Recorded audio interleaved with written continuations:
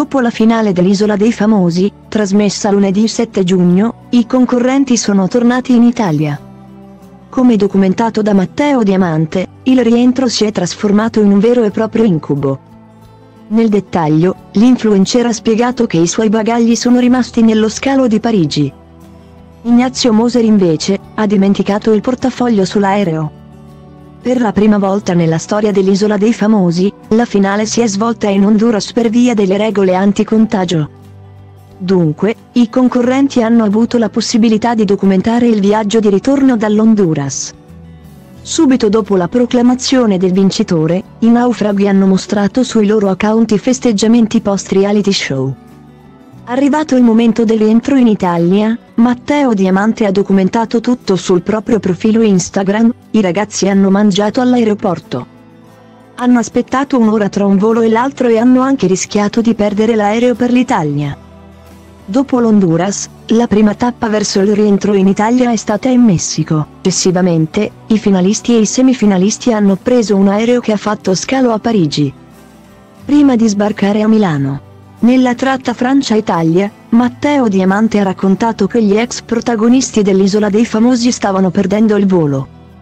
Con un gesto simbolico, l'influencer ha consegnato la collana da leader a Isolde. Dopo essere riusciti a prendere il volo per Milano, in Italia, Matteo ha raccontato un altro episodio accaduto agli ex concorrenti. Scendendo nel dettaglio, Diamante ha esordito, mai una gioia fino alla fine. Il giovane ha spiegato di non avere trovato i bagagli all'aeroporto di Milano, perché rimasti a Parigi. Ma non è tutto, l'ex naufrago ha confidato di avere perso anche la ricevuta. Come spiegato da Matteo Diamante, gli imprevisti non ci sono stati solamente per lui. Ignazio Moser, solo dopo essere atterrato in Italia, si è accorto di avere dimenticato il portafoglio sul volo Parigi-Milano. Diamante ha cercato di commentare il tutto con sarcasmo, qualcosa doveva andare storto.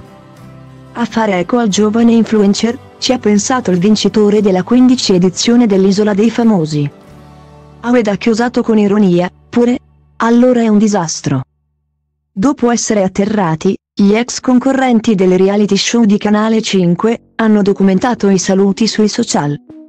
Infine, tutti gli ex naufraghi hanno fatto ritorno alla propria abitazione. Ovviamente.